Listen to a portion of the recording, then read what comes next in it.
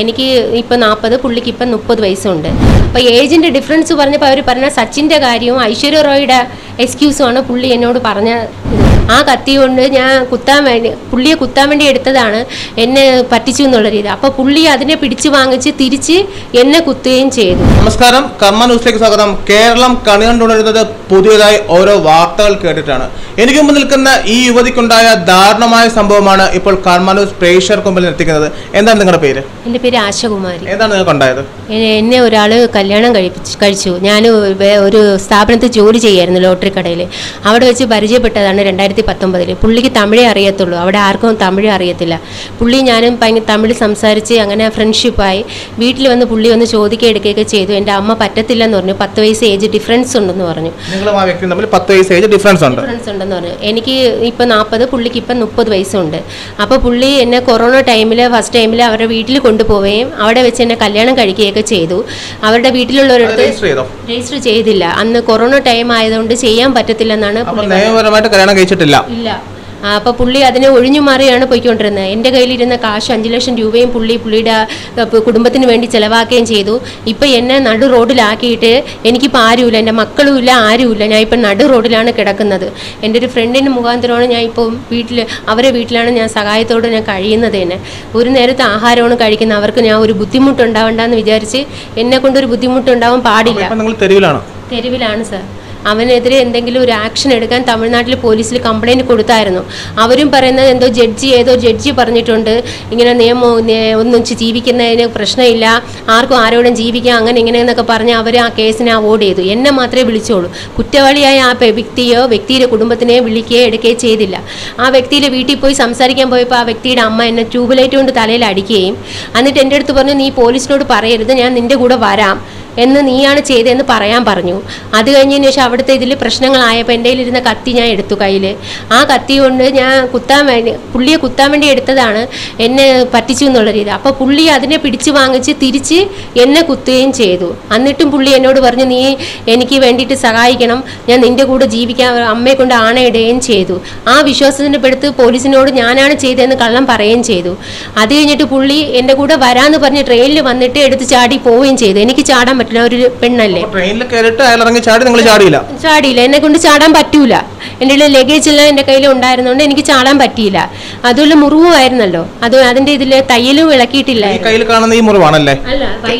വയറ്റിലാണ് കുത്തിയത്. അത് കഴിഞ്ഞിട്ടാണ് തിരിച്ച് ഞാൻ രണ്ടാമത് വന്ന് ലേഡീസ് പോലീസിന് അമ്പയിലുള്ള തമിഴ്നാട്ടിൽ അവിടെ കൊടുത്തു കംപ്ലൈന്റ് അവിടെ കൊണ്ട് കൊടുത്തപ്പോൾ അവർ അവരുടെ ആൾക്കാരെയൊക്കെ വിളിച്ചു വരുത്തി സംസാരിച്ചപ്പോൾ പുള്ളി കൈയും കെട്ടിയിട്ട് എനിക്ക് നിന്നെ വേണ്ട എന്നുള്ള രീതിയിലാണ് സംസാരിച്ചത്. അവരുടെ അമ്മയുടെയും എല്ലാവരെയും പ്രേരണ കാരണം സംസാരിച്ചത് അവിടെ ജാതിയും കാശുമാണ് ആ തമിഴ്നാട്ടിലെ പോലീസുകാർ നോക്കിയത്. എന്നിട്ട് അവിടെ വെച്ച് ഞാൻ കൈ കീറുകയും ചെയ്തു. ഞാൻ സ്വയം അത് ഇത് ഞാൻ നിങ്ങൾ സൂയിസൈഡ് അറ്റംപ്റ്റ് ചെയ്യാൻ ശ്രമിച്ചത്? പുള്ളി എന്നെ വേണ്ടെന്ന് പറഞ്ഞു. നിന്നെ ഇനി എനിക്ക് ആവശ്യമില്ല. എന്റെ ജീവിതത്തിൽ വേറൊരു പെണ്ണ വരാൻ പോവുകയാണ്. അതുകൊണ്ട് എനിക്ക് നിന്നെ ആവശ്യമില്ല. നിന്നെ കൊണ്ടുള്ള ഉപകാരമെല്ലാം മതി എന്നുള്ള രീതിയിലാണ് പുള്ളി എന്നോട് പേരെന്താ? വിജയൻ. വിജയൻ എന്നാണ് പുള്ളിയുടെ പേര്. അങ്ങനെ അവിടെ വിജയൻ. അതെ. കൈ മുറിക്കുകയും ചെയ്തു. പുള്ളി നേരെ ഹോസ്പിറ്റലിൽ കൊണ്ടുപോയി ആശുപത്രിയിൽ. അവിടുത്തെ പോലീസുകാർ വന്നിട്ട് എന്റെ നിന്ന് പ്ലെയിൻ കളർ പേപ്പറിൽ സൈൻ ചെയ്തു. ഞാൻ ചെയ്യൂല എന്ന് പറഞ്ഞിട്ടും അവരെന്നെ നിർബന്ധിച്ച് ചെയ്യിപ്പിച്ചു. എന്നുവെച്ചാൽ ആംബുലൻസ് വരുന്നുണ്ട്. അതുകൊണ്ട് അതിൽ കയറി പോകണം എന്ന് പറഞ്ഞാണ് എന്നെ അവ അവർ എന്നെ കൊണ്ട് നിർബന്ധിച്ച് സൈൻ ചെയ്യിപ്പിച്ചത്. ചെയ്യൂല എന്ന് പറഞ്ഞിട്ട് അവർ നിർബന്ധിച്ചു എന്നെ ഷൗട്ട് ചെയ്തു. ആഭാസങ്ങൾ പറയുകയും ചെയ്ത്. എന്റെ സ്റ്റേഷനിൽ വെച്ച്. അല്ല ഹോസ്പിറ്റലിൽ വെച്ച്. ഹോസ്പിറ്റലിൽ വെച്ചിട്ട്. ഹോസ്പിറ്റലിൽ വെച്ച് അവിടെ ഡോക്ടേഴ്സും നേഴ്സും എല്ലാം ഉണ്ടായിരുന്നു. അവ- അവ- അവിടെ വെച്ചാണ് അവരിങ്ങനെ ചെയ്തത്. പുള്ളിക്കാരന്റെ നിന്നും പ്ലെയിൻ പേപ്പറിൽ ഒപ്പിട്ടു. പക്ഷെ പുള്ളി ചോദിച്ചില്ല എന്തിനാണെന്ന്. പക്ഷെ ഞാൻ ഷൗട്ട് ചെയ്ത് ചോദിച്ചു. അത് കഴിഞ്ഞിട്ട് പുള്ളി നേരെ എന്നെ തിരുനെൽവേലി ഹോസ്പിറ്റലിൽ കൊണ്ടുപോയി അവിടുത്തെ മെഡിക്കൽ കോളേജിൽ. അവിടെ ചെന്നത് ഫുഡ് എല്ലാം വാങ്ങിച്ച് തരുകയും ഡ്രസ്സ് എല്ലാം മാറ്റി തരുകയും ചെയ്തിട്ട് പുള്ളിയുടെ പേരൻസുകൾ എന്റെ ഫോണിൽ വിളിച്ച് അവർ സംസാരിച്ച് കേട്ടതിന് ശേഷം എന്റെ കയ്യിലിരുന്ന ബാക്കി പൈസയും കൂടെ എടുത്തുകൊണ്ട് പുള്ളി ഓടിപ്പോയി. ലക്ഷ്യം പണമായിരുന്നു. അതാ പണമായിരുന്നു. അപ്പോൾ എന്നെ പോലത്തെ ഈ ഏജ് ഏജുള്ളവരെ കണ്ടെത്തി ഇങ്ങനെ ചീറ്റിംഗ് ചെയ്യുന്നത് പോലത്തെ ഇത് ഇനി ഒരാൾക്കും വരാൻ പാടില്ല.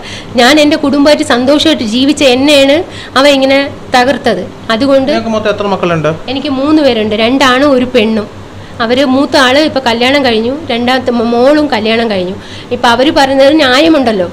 ആദ്യത്തേത് അച്ഛൻ ഇങ്ങനെ ചെയ്തു രണ്ടാമത് ഇങ്ങനെ ആയ നാട്ടുകാരെന്താണ് അമ്മയെക്കുറിച്ച് പറയുക അതായത് നിങ്ങളുടെ മുൻകാല കല്യാണം കഴിഞ്ഞ ആ ഭർത്താവ് നിങ്ങൾ കാരണം എന്താ? പുള്ളി വേ ആട്ടോ ഡ്രൈവർ ആയിരുന്നു. പുള്ളി വേറൊരു പെണ്ണുമായിട്ട് ബന്ധമുണ്ടായിരുന്നു. അത് അവരുടെ ഫ്രണ്ട് തന്നെ നമ്മുടെ അടുത്ത് പറഞ്ഞു. അങ്ങനെ അതെ. എനിക്ക് വേണ്ടെന്ന് തോന്നി ഉപേക്ഷിച്ചു. എനിക്കിനി അങ്ങനെ വേറെ പെണ്ണിനോട് പോകുന്ന ഒരാൾ വ്യക്തിയെ എനിക്ക് വേണ്ടെന്ന് വിചാരിച്ചു. എന്റെ മോക്ക് ഒരു വയസ്സ് തൊട്ട് ഞാനും എന്റെ അമ്മൂമ്മയും അമ്മയും പാടുപെട്ടാണ് എന്റെ മക്കളെ നോക്കിയത്. അപ്പോൾ ആരുമില്ല ആൺതോണം ഇല്ലാത്ത സാഹചര്യത്തിൽ ഒരാൾ വന്നൊരു അഭ്യർത്ഥന നടത്തിയപ്പോൾ നിങ്ങൾ വീണുപോയി അല്ലേ? അതെ സാർ എല്ലാ പെണ്ണുങ്ങൾക്കും പറ്റുന്നതാണല്ലോ. ഒരു എന്ന് വെച്ചാൽ ഞാൻ തമിഴ്നാട്ട് ആണാണ് കേരളത്തിലെ ആണുങ്ങളെ പോലെ ഭാര്യയും വെച്ചിട്ട് വേറെ പല ആ പെണ്ണുങ്ങളുടെ അടുത്ത് പോകുന്നവനല്ല. ഇപ്പൊ കാണിച്ച് തന്തയില്ലാത്തതാണ് അപ്പൊ കേരളത്തിലുള്ള ആണുങ്ങളും തമിഴ്നാട് ആണാലും എല്ലാ ആണ് ആണ് തന്നെയാണ്. ആ മീശ വെച്ച ആണാണ് ഉപ്പിട്ടാണ് ചോറ് കഴിക്കുന്നത് എന്നൊക്കെ രീതിയിലുള്ള ഡയലോഗുകളാണ് നമ്മളടുത്ത് വന്നപ്പോൾ പറഞ്ഞത്. അപ്പോൾ ഏജിന്റെ ഡിഫറൻസ് പറഞ്ഞപ്പോൾ അവർ പറഞ്ഞ സച്ചിന്റെ കാര്യവും ഐശ്വര്യ റോയുടെ എക്സ്ക്യൂസുമാണ് പുള്ളി എന്നോട് പറഞ്ഞ ഇത്.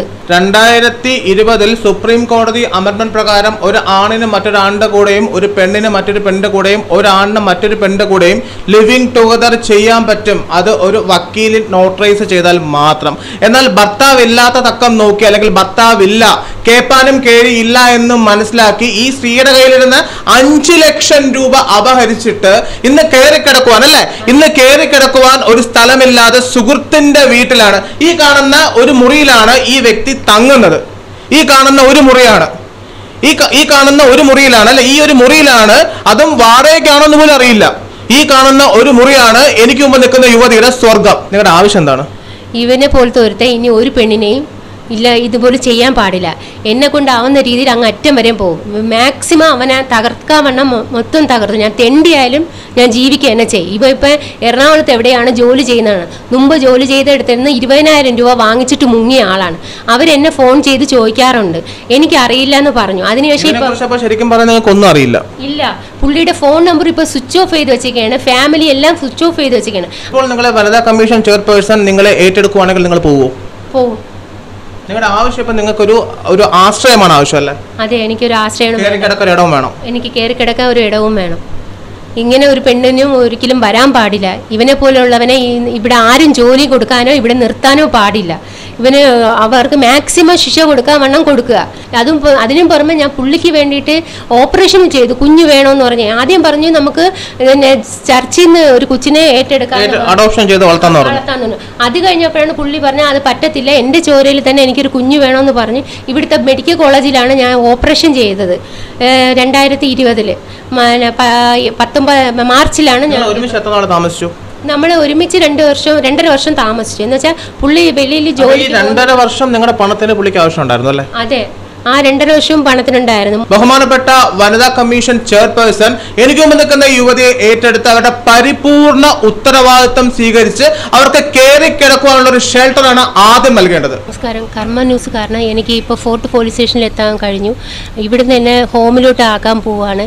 എല്ലാ സഹായവും എനിക്ക് കർമ്മ ന്യൂസാണ് തന്നിരിക്കുന്നത്. അതിന് ആയിരം നന്ദിയുണ്ട്. അവന് ഇനി ഒരു പെണ്ണിനെയും ഇതിങ്ങനെ കാണിക്കാൻ പാടില്ല. അതിനുള്ള ശിക്ഷയും കാര്യങ്ങളും കൊടുക്കണം. കൊടുക്കുമെന്ന് നൂറ് ശതമാനം വിശ്വാസം വന്നു എല്ലാത്തിനും നന്ദി. നമസ്കാരം. കർമ്മ ന്യൂസിനു വേണ്ടി cameraman Suraj മലപ്പുറത്തിനോടൊപ്പം news reporter S P Thiruvananthapuram.